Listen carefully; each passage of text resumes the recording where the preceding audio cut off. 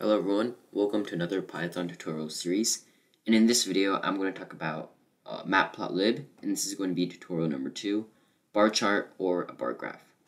So a bar chart is a chart or graph that presents categorical data with rectangular bars with heights or lengths uh, proportional to the values that they represent. The bars can be plotted vertically or horizontally, and a vertical bar chart is sometimes called a column chart. So a bar chart typically has two axes with one axis one axis of the chart showing the specific category that's being compared and the other axis representing a measured value. So let's look at an example. So let's say Joey did a pet survey in his class and here's what he found. So uh, we want to use the bar chart to show the data and actually this is a typical bar chart uh, data because it is categorical. So we have a list of pets, dog, cat, fish, hamster, and rabbit. And um, we have a list of a number of students, 11, 8, 5, 4, and 2. So 11 students have dogs as a pet, 8 students have cats as a pet, uh, 5 students have fish as a pet, 4 students have hamsters as a pet, and 2 students have a rabbit as a pet. So let's create a chart to just demonstrate or show this information.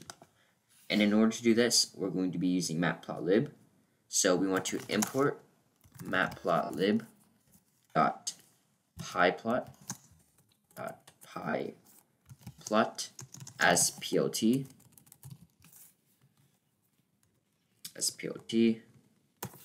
And now um, when we import this matplotlib uh, submodule, which is pyplot, we rewrite it as plt. And now plt becomes an alias of matplotlib.pyplot and is equivalent to it. Now most of the matplotlib utilities lie under the pyplot submodule, so we're going to be using it a lot during this tutorial series. So now let's put data to our lists.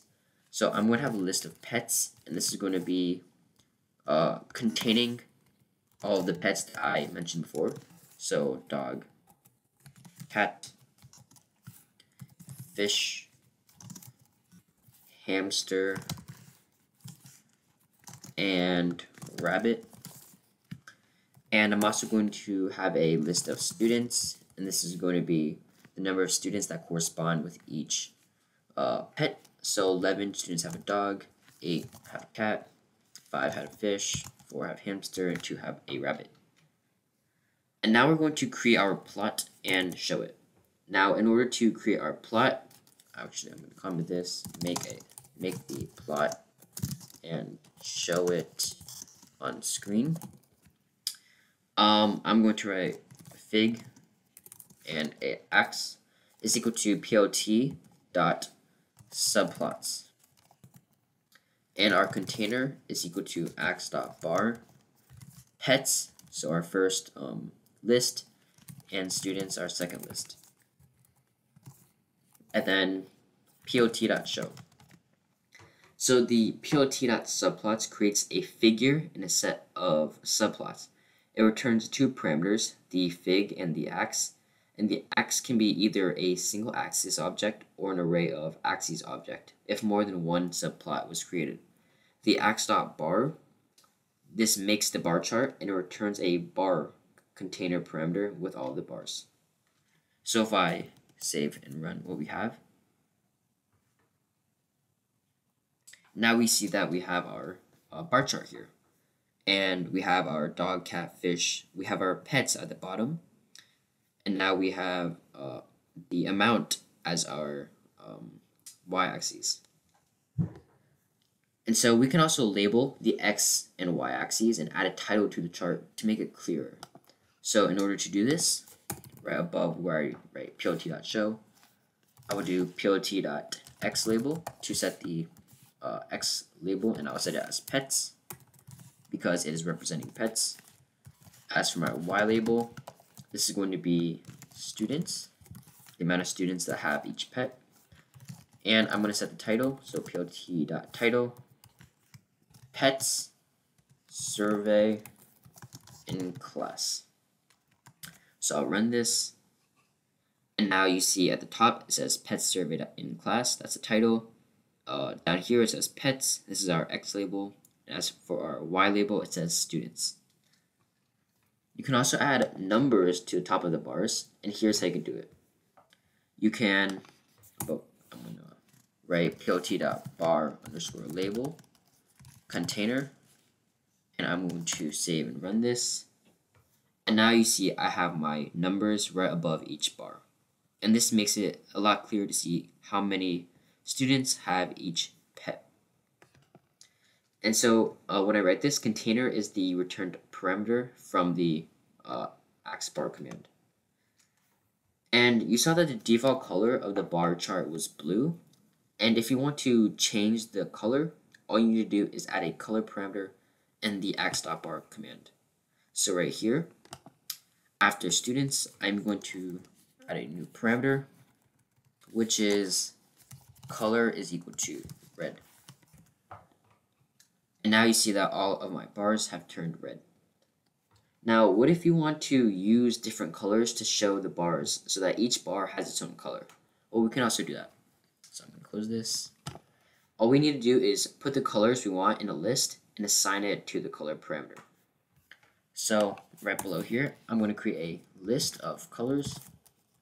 Colors is equal to red,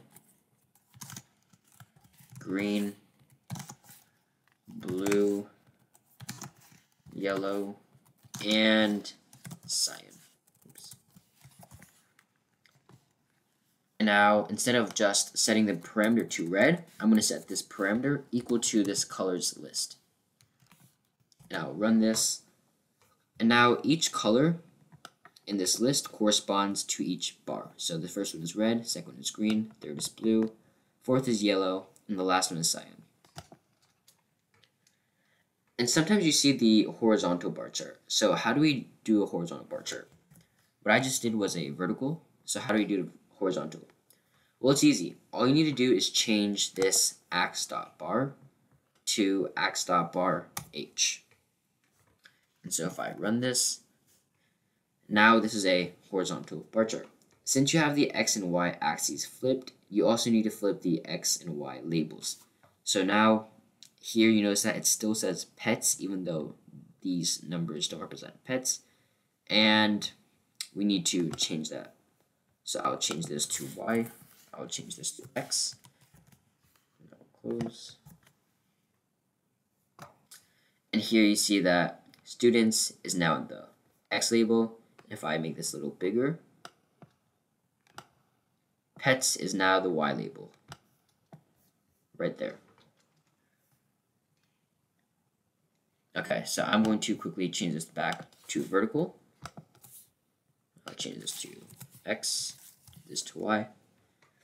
And if you want to add grid lines to the y-axis, we can also do that. And for this one, we just need to add the plt.grid function. So right underneath where I set the title, I'm just going to write plt.grid. The axis is equal to the y-axis.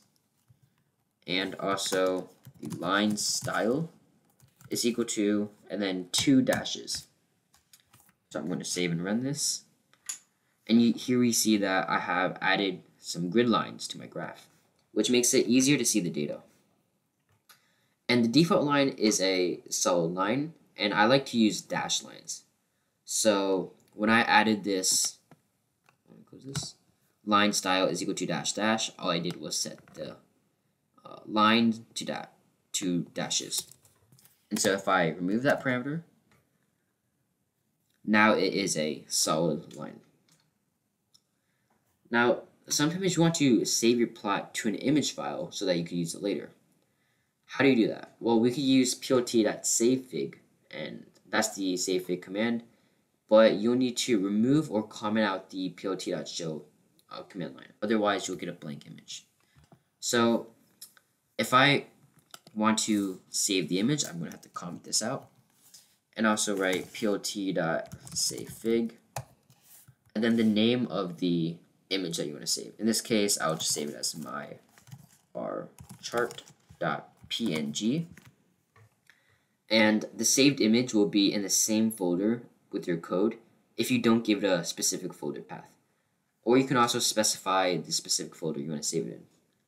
Now, in this case, I'm not going to run this because I don't need the image, but uh, you can obviously save it wherever you like. Now, this is the end of this video. Thank you for watching, and I'll see you guys next time.